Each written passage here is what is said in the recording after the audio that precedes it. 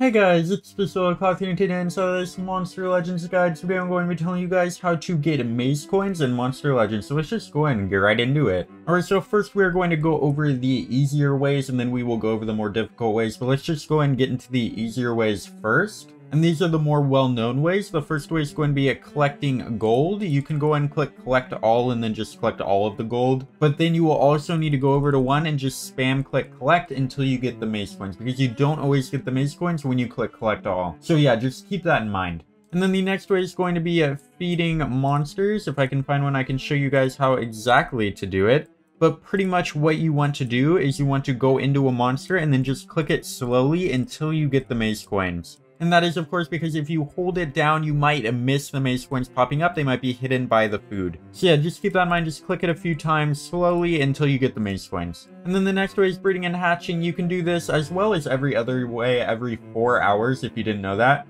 So just go ahead and find a monster to breed that will take around 4 hours. It will probably have to be like an epic to take around 4 hours. So go and just breed any epic, and then you can go ahead and do it every 4 hours and get those maze coins. And that is both for breeding and hatching. And then the next way is going to be through PvP. You just go into multiplayer and you will basically just fight any battle. And if you win two times, you will get enough maze coins. You just have to win twice. So yeah, just make sure to win twice every 4 hours in order to get 15 each battle for a total of 30, I believe. And then the next way, which is kind of a more easy way, this is one of the best ways, is Monsterwood. There will be maze coins in Monsterwood. It will be right here. I am on PC, so it doesn't show up because there are no ads on PC. But if you are on mobile, it'll be right here, and you will basically just be able to watch ads for maze coins. And yeah, you can just let them play in the background and just do whatever you want. And then the last way, and this is my favorite way, is the Coins Dungeon. You just go into Resource Dungeons, it'll be like right here, it'll be the first one.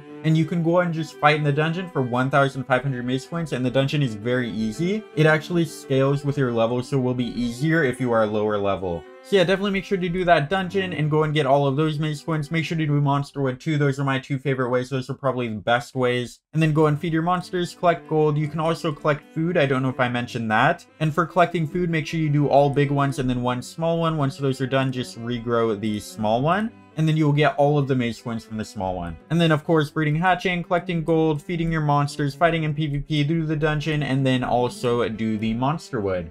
Yeah, that is going to be it for this video. Let me know down in the comments what you guys are going to be aiming for inside of this new maze, and I'll see you in the next one. Over to like, share, and subscribe. Goodbye.